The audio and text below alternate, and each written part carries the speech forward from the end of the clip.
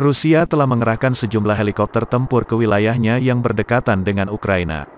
Laporan itu muncul ketika Moskow menegaskan bahwa Presiden Vladimir Putin tak peduli dengan ancaman sanksi Amerika Serikat dan sekutunya. Beberapa video yang dikutip sejumlah media menunjukkan kawanan helikopter serang Moskow berkumpul di wilayah Belgorod Barat hanya 19 mil dari Ukraina. Aset tempur serupa terlihat di lokasi yang sama pada 2014 ketika Moskow melakukan intervensi di Donbas dan menganeksasi Crimea. Moskow selalu menolak narasi menganeksasi Crimea dan menegaskan wilayah itu memilih lepas dari Ukraina. Dan bergabung dengan Federasi Rusia melalui referendum. Salah satu video menunjukkan helikopter serang militer K-52 Alligator, Mi-8 dan Mi-24 bergerak di beberapa lokasi di Rusia Barat. Mereka terlihat di Belgorod, wilayah Nizhny Novgorod, Tver, Ulyanovsk dan Yaroslavl di tengah kecurigaan mereka dipindahkan ke zona perang Ukraina. Sementara itu, Duta Besar Rusia untuk Swedia Viktor Tatarinsev mengatakan Presiden Putin tak peduli dengan ancaman sanksi AS dan sekutunya. Semakin barat mendorong Rusia, semakin kuat tanggapan Rusia, katanya. Diplomat Kremlin ini mengatakan Rusia telah menjadi lebih mandiri dalam menanggapi ancaman sanksi. Kami lebih mandiri dan mampu meningkatkan ekspor kami, kata Tatarinsev kepada surat kabar Aftonbladet. Kami tidak memiliki keju Italia atau Swiss, tetapi kami telah belajar membuat keju Rusia yang sama baiknya menggunakan resep Italia dan Swiss. Dia mengatakan sanksi telah memungkinkan ekonomi negaranya dan sektor pertaniannya berkembang.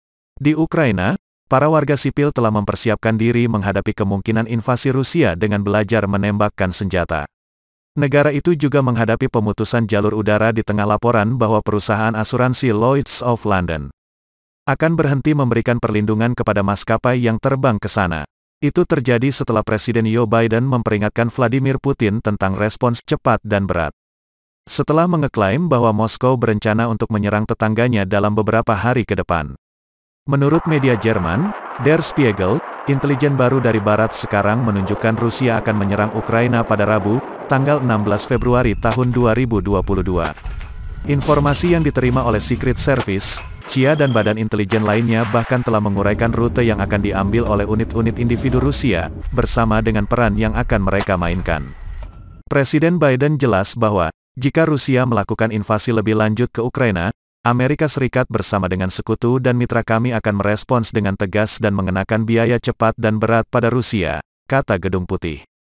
Presiden Biden menegaskan bahwa invasi Rusia lebih lanjut ke Ukraina akan menghasilkan penderitaan manusia yang meluas dan mengurangi posisi Rusia. AS menyatakan siap untuk terlibat dalam diplomasi, namun juga siap untuk skenario lain. Sebaliknya, Kremlin mengatakan akan berhenti sejenak untuk meninjau tanggapan AS dan NATO terhadap proposal jaminan keamanannya sebelum mengumumkan tindakan selanjutnya. Presiden Putin telah membuat permintaan yang mustahil. Termasuk agar Ukraina tidak pernah diizinkan untuk bergabung dengan aliansi NATO dan NATO menarik pasukannya dari Ukraina Timur.